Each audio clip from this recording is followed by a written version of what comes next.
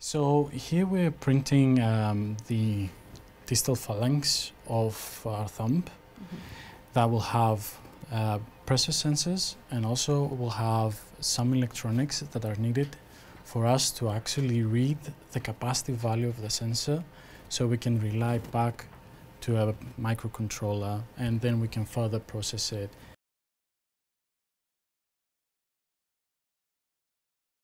Well, to do that, to achieve that, we actually have to print multiple uh, materials, not just plastic. So every now and then we are swapping materials from the extruder and the nozzle. So I, one time we can print uh, a polymer and then I can swap it to a metal-based uh, material so I can make conductive and plastics all together at the same time. So could you print an entire prosthetic in, in this lab? Yes, actually we can. We can just uh, print whatever we want. We can have all the freedom of our designs. So this is one uh, that we have made particularly to embed all the electronics and components inside of it.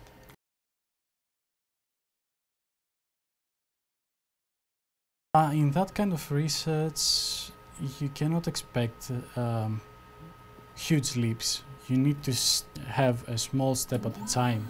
So in that case, we would say about in five years we can see some really 3D printing prosthetics with a lot of capabilities on uh, sensors. So, So- as you can see, it's really soft on the bottom, Oh yeah. and inside there is a capacitive sensor connected to electronics, and you can see there there is my gap where I can have my electronics that is reading the um, capacitive value and then I can further uh, integrate with micro with electronics that I can use it as a feedback for pressure sensors for prosthetic hands.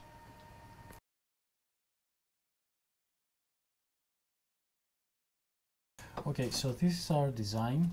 It has the capacitive sensors that is this area Mhm. underneath and this is the embedded electronics. So if we want to show what's happening in reality inside that, we can see here that this is the structure that we oh, have. Oh wow.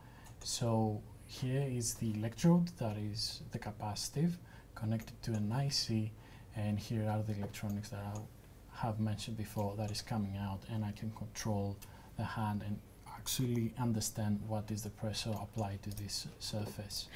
So these ones are resistors that I cannot really print so I have to place them.